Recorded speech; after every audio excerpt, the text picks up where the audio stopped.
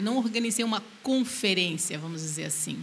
O que eu pensei muito mais é como é uma orientação técnica, como todos somos educadores e educadoras, e eu estou como conselheira do Conselho Nacional de Educação e relatora dessas diretrizes, de organizarmos mesmo um, uma tarde de trabalho para a gente compreender um pouco mais a própria resolução, não é isso? Porque os sistemas vão ter que implementar a resolução do Conselho e acho que é um momento oportuno para que a gente possa trazer pontos centrais, né, orientadores dessa resolução do Conselho e do parecer, para que a, o trabalho com a educação escolar quilombola seja realizado da melhor forma possível, não é isso?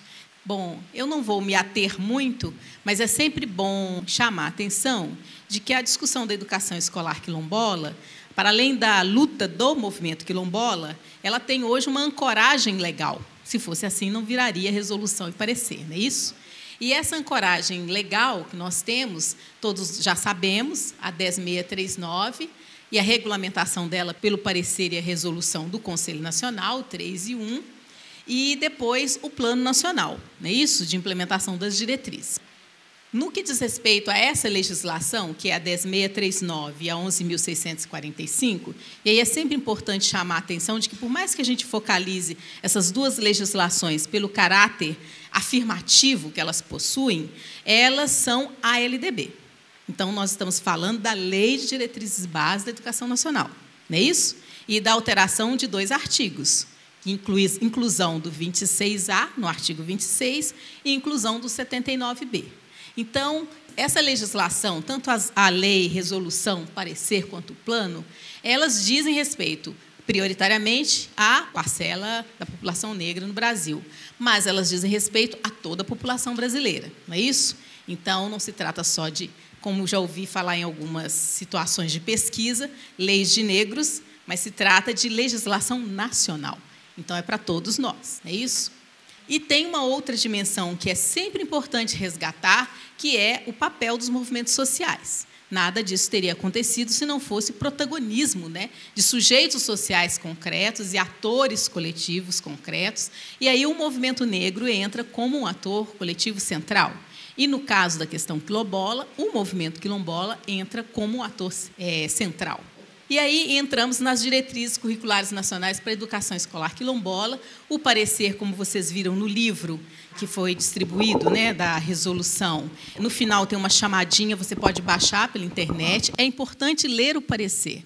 Conversava hoje pela manhã, muitas vezes para os gestores de sistemas de ensino, a resolução é o que mais pega, não é isso que é o mais premente. Olha, eu tenho que implementar a resolução, secretarias de educação, municipais, estaduais, a distrital, mas implementar a resolução sem ler o parecer fica um trabalho partido.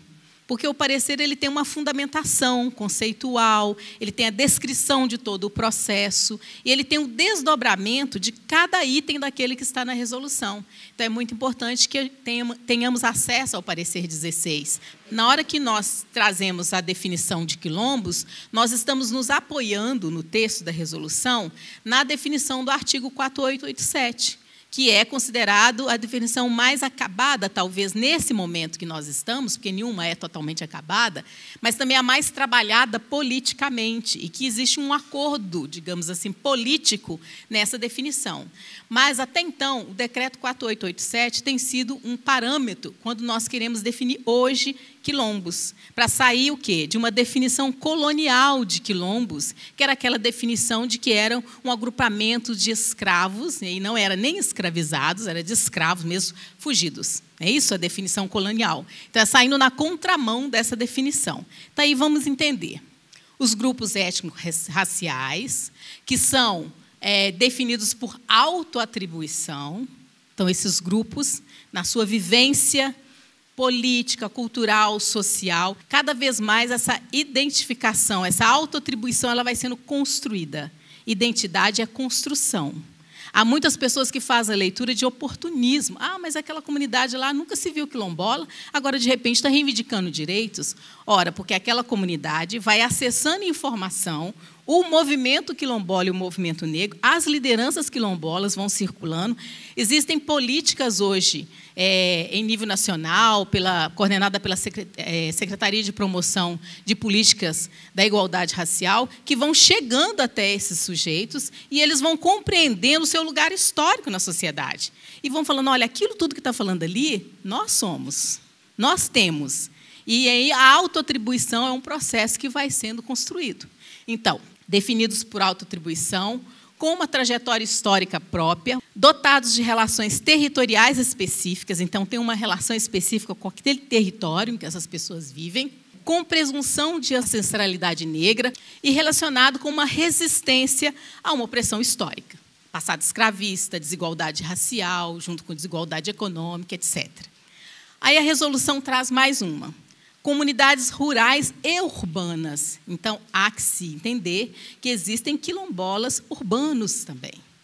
Essas comunidades, elas o quê? Elas lutam historicamente pelo direito à terra e ao território, o qual diz respeito não somente à propriedade da terra, mas a todos os elementos que fazem parte dos seus usos, costumes e tradições. Então, não é só uma questão fundiária, é uma questão do sentido que se dá àquela terra em que se vive. Isso é a territorialidade. Essas comunidades, entendidas por quilombo, vão possuir o quê? Recursos ambientais que são necessários à sua manutenção e as reminiscências históricas, ou seja, aquilo que se conserva na memória e que permitem perpetuar a sua memória.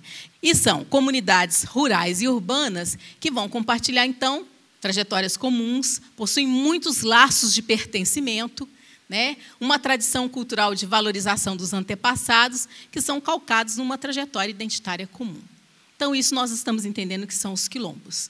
Então, é uma definição de quilombo que vai muito mais, muito mais além do que pensar alguma coisa ligada à escravidão, ao passado escravista. Nós estamos falando dos quilombos hoje e de como os quilombos foram, ao longo da história, se reconfigurando.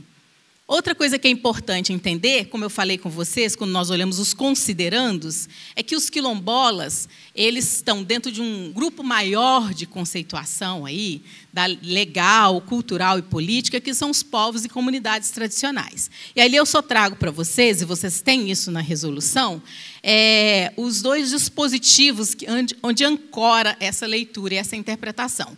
Um deles é a nossa Convenção 169 da OIT e também o outro decreto 6040, que é a Política Nacional de Desenvolvimento Sustentável dos Povos e Comunidades Tradicionais. E aí o que são comunidades e povos tradicionais? Não é isso? Esse tipo de nomenclatura, digamos assim, que para antropólogos, não é isso? Ela é mais conhecida, ela é mais movimentos sociais, sociólogos, vai ter que também ser do domínio nosso, de quem está na gestão do sistema. Não é isso? Como que você vai, na hora que está formando outros, trabalhando com professores, por exemplo, explicar o texto, explicar a resolução, explicar os conceitos centrais. Então, eu penso que esse grupo que está aqui é importante que vá compreendendo esses conceitos e por que, que eles estão fazendo parte do texto normativo. Então, ali tem alguns itens que você vai encontrar também no texto, muito rapidamente. Os povos e comunidades tradicionais né, são grupos culturalmente diferenciados, não é isso que vocês falaram hoje pela manhã? Educação diferenciada, um outro tipo de educação, que também esteja dentro do grande cômputo do direito à educação?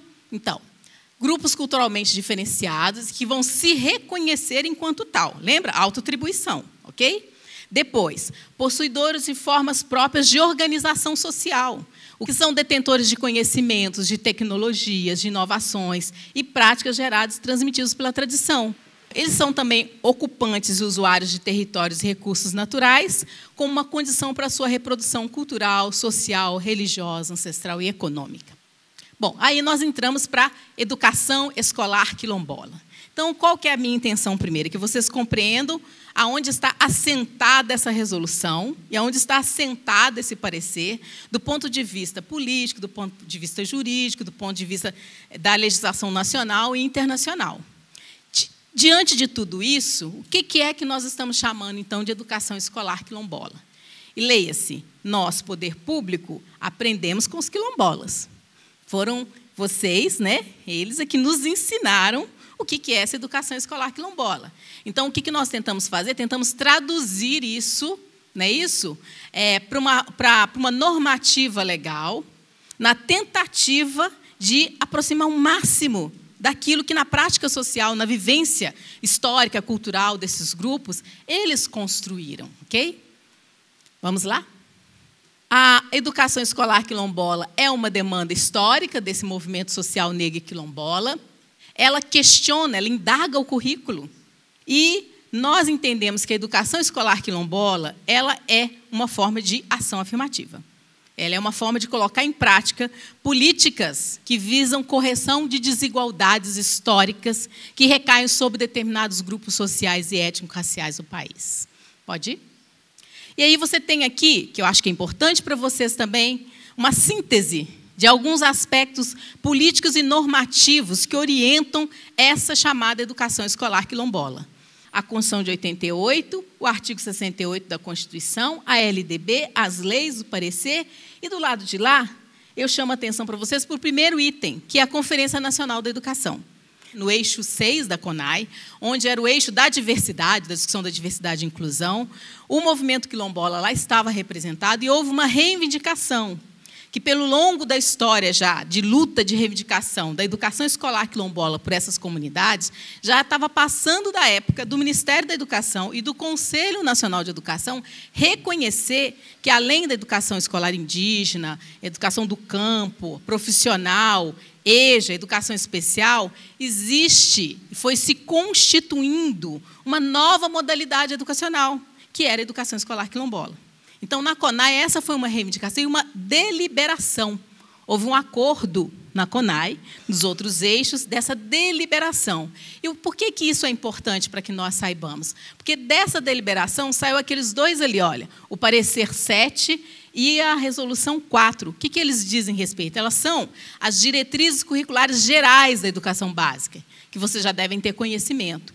Lá no texto das diretrizes gerais da educação básica, foi a primeira vez que o Conselho Nacional de Educação nomeou a educação escolar quilombola como uma modalidade. Isso foi muito importante. Então, vê? Luta social, não é isso? Luta histórica dos quilombolas, movimento negro, outros aliados da luta antirracista, poder público, Ministério Público, todo esse conjunto de, ator, de atores coletivos resultou aí na CONAI numa, numa reivindicação que virou deliberação e o Conselho acata. O Conselho Nacional falou, reconhece, de fato, nós estamos diante da configuração de uma outra modalidade de educação que é a educação escolar quilombola. Quando aquela resolução e aquele parecer, o 7 e o 4, incluem lá, o que, que ele demanda? Ele demanda que seja organizada uma regulamentação específica. E aí entra as diretrizes que nós temos hoje. Dali vem o que? O parecer 16, não é isso? Da quilombola, a resolução 8. E aí vocês podem reparar que a partir da, de 2010, das gerais, quando ela inclui lá no texto da, do parecer das diretrizes e na resolução que existe, existe agora configurada uma outra modalidade de educação, todas as outras diretrizes do Conselho agora falam da educação escolar quilombola quando a EJA vai pensar a EJA, tem que se pensar como é que é a EJA para a comunidade quilombola. A educação profissional, que é uma demanda de várias comunidades, foi uma demanda durante as audiências. Ela tem que pensar qual é a educação profissional que os quilombolas precisam, que eles reivindicam, que eles desejam. Não é isso? Quando vai se pensar projetos da educação profissional, a educação especial, quando ela vai se configurar como educação inclusiva, e a educação inclusiva nas comunidades quilombolas. Quais são as demandas, quais são as necessidades das diferentes comunidades quilombolas no país, porque elas diferem entre si. Elas não são um bloco homogêneo. E, por último, vocês podem observar o projeto do Plano Nacional de Educação que está em curso. Então, os quilombolas estão lá colocados no Plano Nacional de Educação. E isso é um processo histórico de lutas e de avanços políticos dessa, dessas comunidades.